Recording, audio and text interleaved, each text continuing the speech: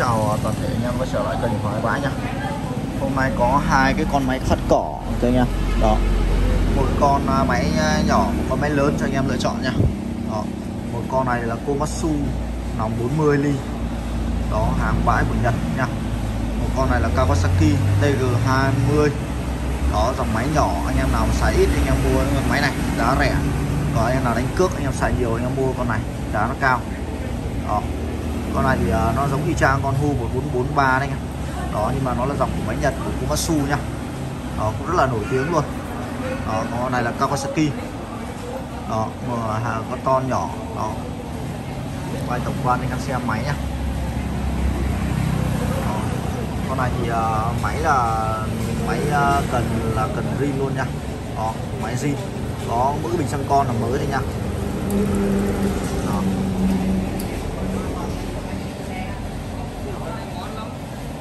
máy này là Kawasaki 20 Đó, tất cả đầy đủ tay lái đồ máy đầy đủ nha.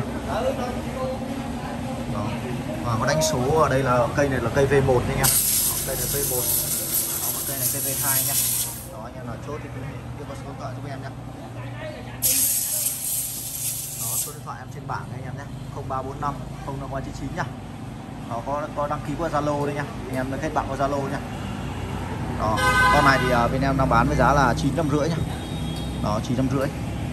Và con này bên em đang bán với giá là 3 triệu uh, 3 triệu rưỡi nhá đó. con này uh, 3 triệu rưỡi. Máy siêu to nha Hôm nay năm bảy bốn hai à? rồi bây giờ hắn sẽ test nổ cho anh em xem hai con này nhá Mai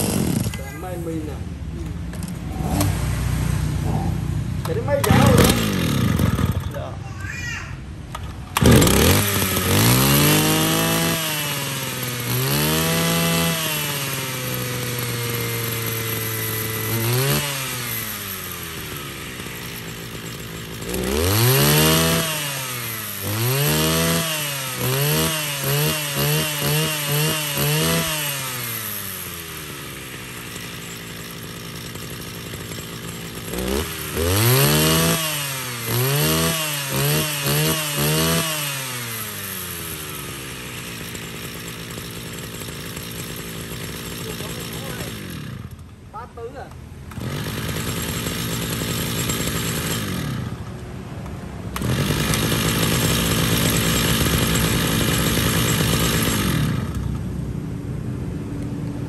Ủa, cái bát tứ bao nhiêu to ha?